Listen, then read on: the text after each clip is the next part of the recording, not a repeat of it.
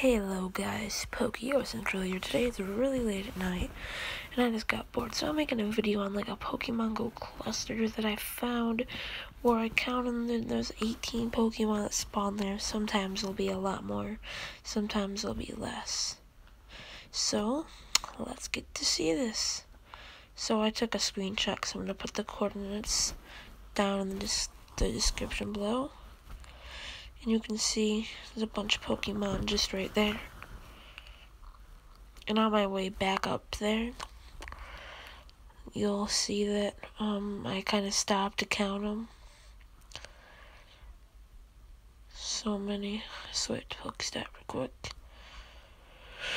And um, also, I did get another 10k eggs, so once that hatches, there'll be a video on that. And if there's anything else you want me to do a video on, just put that in the comment section below, and I read every comment I get. Normally, I will reply to them. So yeah, now you can see how I kind of counted them. So There's about, I think there was like eight there. So I'm not for sure. Yeah, there's eight there, then it went to like 11. Then there's like seven up here. So there's a lot.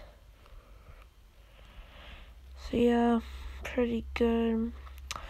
Hope you guys did enjoy the video. Don't forget to drop a like and subscribe for more and peace out.